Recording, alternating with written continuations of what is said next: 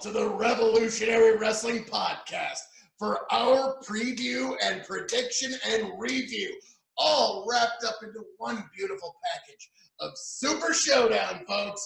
I am the devilishly handsome outlaw himself, your king of extreme, Phil KOE, joined by my indomitable broadcast partner, the three time, three time, three time Revolutionary Wrestling Podcast champion.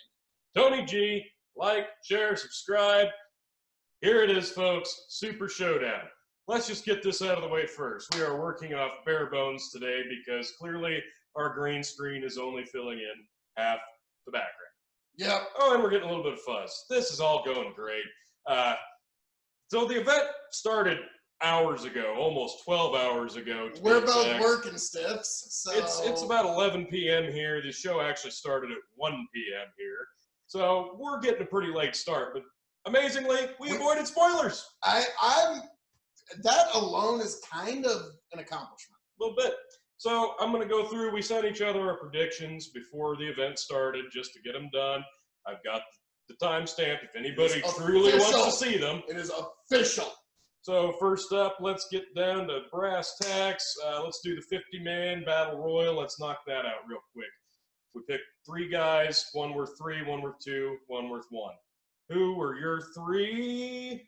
My bit, my three point. I think somebody's getting the double feature in this event, Okay. and I think the winner of this is going to end up being Roman Reigns. And I hate to say maybe Hogan, but I'm going with Roman Reigns. Okay, so Roman was your number three-point pick. Uh, my three-point pick is now that I've completely lost it. Drew McIntyre. Drew McIntyre. I had Drew to win the actual Royal Rumble if Seth did. So that's why I'm going with Drew here. Makes perfect sense. Uh, your number two point pick, you had. Braun! He's somebody that the Saudi audience knows. Um, he's big guy. They love the big guys in Saudi Arabia, and He won it last year. keep yeah, it'll keep his momentum going at least with one particular audience. Speaking of momentum, my two point pick, as stupid as this sounds, R-Truth. It's stupid, I know, and that's why I'm picking it. Screw it. It's R-Truth. Why not? He's hot with that stupid title. Your one point pick. Real dark horse out of nowhere, swerve all, Sami Zayn. No way. Probably not. Probably not. no, no. I think uh, this is the same way Shane won the uh, best in the world tournament because nobody else really wanted it. Yep. I think they're going to put it on Lars Sullivan. I'm going with Samoa Joe. He's got a little bit of momentum. Uh, they're kind of pushing him as a monster. I'm just going to go ahead and say Sami Zayn has a better chance of winning than R-Truth. Since Sammy didn't make the flight, I'm still thinking Joe has a slightly better shot. Well, yeah, but not as R-Truth. Sami Zayn still has a higher bet than. Sorry. Speaking of your dark horse, he is facing the Lucha House Party in a three-on-one handicap match. Who you got? Uh, really? You want to just do this on three? One, two, three. Lars. That's easy. What? Now, the, the real question is how many minutes will it take? It's not gonna Three, take long. maybe even four. That's a filler match. Uh, Shane McMahon, Roman Reigns. Who you got? Really? I guess really who you got? Uh, I know who you got. Tell them who you got. I got Roman, Roman, Reigns. Yeah. I was going to say, uh, maybe Hogan comes down, and I- it, but nobody's I, uh, got it's got to be Roman. He's been on a streak since he's come back. It's obvious. It's Roman. Duh. Part of me thought maybe they give Shane another pay per view win.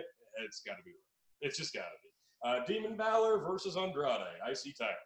Demon? Obviously Demon because it's the Demon. He doesn't lose as the Demon. Never. No, he This just would, doesn't. this would be dumb to lose as the demon. I'm curious how he's going to carry that over to the Saudi. Uh, Braun and Lashley. Braun! And I, he's, I- he's got a good double I feature. agreed exactly with that too. It, it makes no sense to have Lashley win. I don't get it. Uh, then we move into a title match: Seth versus Corbin, Universal title. I'll let you take this, champ. I think it's obvious Seth Rollins retains. Everybody waits for the Brock Lesnar cash in, but it does not happen. More on that in a minute. I think you're half right. Brock's going to come down, cause some chicanery, some oddities, some schmozzery, if you will. Okay. and it's gonna cost Seth the match, Wow. and Baron Corbin's gonna get the roll up, and then Brock's gonna walk away all dastardly, still with his briefcase, in which it will happen. Kofi versus Ziggler for the world title. I've got Kofi to win. I got Kofi. You got Kofi to win. Not like it matters because Brock's gonna cash in. Exactly. So, That was what we both. Uh, it was uh, simultaneous. We Yeah. sent the messages. Yeah, exactly. Brock's and cash on Kofi. We're gonna get Brock on SmackDown with the world title. Move to Fox. Fox. Exactly. that'll It makes too much sense. It makes too much sense. So Uh, then moving down the card, Triple H, Randy Orton. I Uh, actually did go back and forth on this one a little bit. I bit. didn't. It's gonna be Triple H, obviously. I think it's Triple H as well. He's really trying to get himself over as the final boss of wrestling. He just beat at the last Super Showdown. He basically Yeah. single-armedly beat Undertaker Yeah. and Kane. That's why I went with Triple H too. He seems bulletproof on these shows. After that loss to Cena at the first one, he's been on fire at these overseas shows. No brainer. Okay, then the big one. This one perplexes me a little bit. I went back and forth on it. Goldberg Undertaker. It pained me to not pick Undertaker. The a New WWE York mark. mark. A New York mark is going with Goldberg. we've seen on the overseas shows that Undertaker will do the job. So, Undertaker's not going to win this match. It's going to be Goldberg. I think it is. Surprisingly, Phil I got Taker. Phil marks out for the Taker, being the Georgia guy. Doesn't pick Goldberg. I know, I know, I know. So, Everything's upside down. But here's the fun part: I do terrible on these overseas Saudi shows. I fully expect to be handing this to him in like three hours when we get done watching this show. So those are our predictions. The matches are all said and done. We're going to sit down, watch the show, enjoy it casually. We'll do a little segment here if we absolutely need to, but for the most part, we're going to jump into the review once we're finished watching the show. So we're about to sit down, start the show. We will see you here shortly. And that is the conclusion of Super Showdown Saudi Edition. Brock did not cash in. He was gonna. No. He was gonna, but he did not. We had a very fun little tease there with Heyman tripping over the ropes, Seth taking advantage with a low blow and chair shot. Loved it, thought it was great. Still disappointed didn't cash in on Kofi later. Yeah, yeah. I digress. So Uh, that match we gave three stars to Corbin Seth. Seth for retains. I got to agree, it was a serviceable match. Um, the wrong man won. It should have been Corbin to help me win the Revolutionary Wrestling Podcast Championship. That was why we tied, is because of Seth Rollins Baron Corbin match and the main event, which we will get to. We will get to. will. Demon Balor Andrade also gave it three stars. I it never hit that gear for me. Uh, good match though. Uh, It, it, did feel a little jet lag. It did. I, I agree. Good match though. Demon wins. No Right shocker there. there. Uh, Shane, surprise win over Roman. Really, I mean, it is the call it. The best in the world. Shane Mc- McMahon. Yeah. So instead of protecting the streak of Roman Reigns since beating leukemia, they give this win to Shane McMahon, He beat now leukemia, but was he really able to beat the? best in the world. No, he was not, unfortunately. Shane's riding this heel momentum. Good on Shane. I gave that two stars. I think I gave it. What, what, what did I end up giving it? I have two for you as well, and I think No, re- re- revise it. Revise it. All right. Give one and a half. okay, revising one and a half. Yes, sorry. There you go. Upon greater meditation. Fair enough. Then, of course, the wonderful handicap match of Lars versus the Lucha House Party. Uh, one star. Yeah, one star. Yeah, that's about what that deserved. You Um, you give Lars this monster push, and then he wins by DQ. Don't know what that was about. Shouldn't even have been there's about. been some backstage politic involved with him, so this might be Whatever. punishment. It was not good. It was pointless, and it it just slowed the pace of the whole card down, and I didn't like it. Sorry. There you go. Yeah. Moving down, bit of a shocker here. Randy Orton defeats Triple H. I went back and forth on my pick of Triple H. I went with the safe pick. I wish I hadn't because I would have won outright. But I'm still shocked Randy took the W there because it is Triple H, the final boss of wrestling. they did do a segment. It was a throwback to their match where they both hit their finishers and kicked out.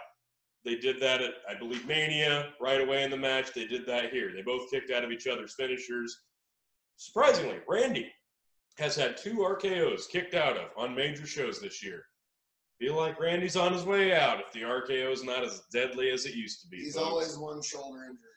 Exactly. I gave that uh, three stars. It was a good storytelling match. Nothing stellar here, but good storytelling. I hate to agree, but I'm going to agree. Fair enough. Three star match. I said that at the beginning of the match. You did. I'm guessing three to three and a half stars, Yep. serviceable match is what we're going to end up with here. Yep.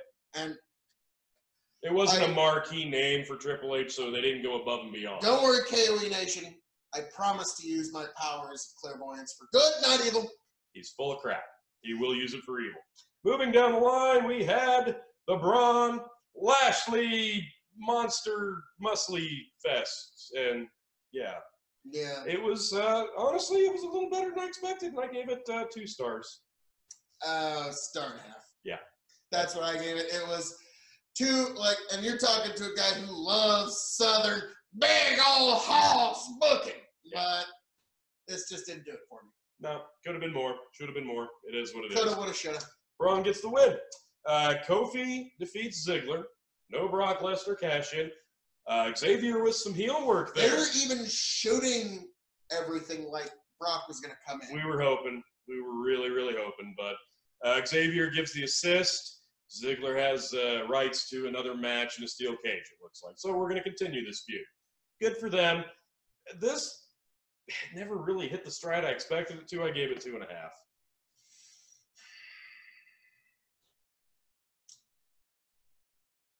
God, I hate to agree, Okay. but I'm going to agree. Okay. Two and a half stars. I mean, it was a great, serviceable match, but we were all expecting more. I did. I really thought it'd be better. I did. So, That's probably why we judged a little the harsher. um, Battle Royal. The Battle Royal. It was not a Royal Rumble. Otis None of the guys. Stole it. Yeah, Otis stole it with the Caterpillar double elbow drop. Move of the match, hands down. one star. Honestly, at, at one point, I couldn't even tell if guys that were in the ring were even there at the beginning. And Moonsuno, or who, who, yeah, who the it? local guy The gets the local guy. I mean, we don't know who he is, but he's a local I guy. even had Joe. They got to start building up local talent. Joe was my one point guy, and I was cheering for Elias, but nope. Is what it is. I gave it one and a half. I was wondering when Elias is going to start talking smack on the local uh, hometown. Not tonight. Huh? No, not Where- tonight. Why do you suppose that is? Eh, I'll, I'll, I'll rack my brain on it later. Yeah, that's fair. Then, of course, main event time. Uh, this was, even though some of the matches were disappointing, we were, could have cut the last half off the match, it would have been better. we were still on the edge of our seats for this. Yes. It, it was how many years in the making? First time ever. Big name legend, big name legend. And two spears right out of the gate. We're like, oh my God, is this going to end right then and there? No, it didn't. They kept us invested, they kept us surprised. There was some color. Goldberg hits the post. May have actually concussed himself because he was groggy as hell after that. So, I, I loved it. I thought it could have been a lot worse. That's for damn sure. Uh, I gave it uh, three and a quarter just because of who it is, obviously. Main event, big stage, and it was much, much better than I anticipated. Three and a quarter. I hate to say this, it's a three star match. Um, really, it's like a two, two and a half star match. But All right. Oh, As- color. hey, they got color, so it is better, even though you don't want to admit that color makes the match better. Absolutely. So, I. There's guys in ECW who made their entire career just off getting colored Oh, that's not true. They did flippy shit before flippy shit was cool. and concussed With- themselves with chair With shots. chairs. With chairs. Yes, yes. But getting back to this match at hand, uh, that Goldberg, I had no idea that you had added the Brain Buster to your Yeah. Yeah. I think uh, Undertaker was dropping Undertaker No. on his head. Undertaker was not thrilled with the finish of that match. No, you could see in his face. He Oh, he was, was mad. pissed. He was mad. angry. He was disappointed. And Yeah. there's a chance he might have re-aggravated an injury. So he's- Goldberg might have a concussion. Undertaker's got a messed up Yeah, neck. yeah. Now the question is, was that a purposeful blade job, or did he actually just whack his head? I think it was on purpose.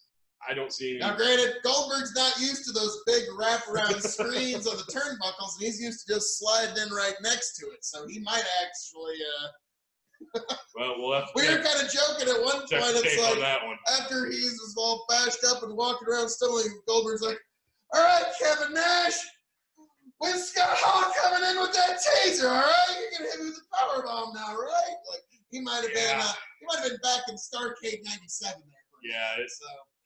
I think that was 98. Uh, let us know in the But here we are section. living nostalgia for unknown reasons. Undertaker Goldberg, it happened. It was wonderful.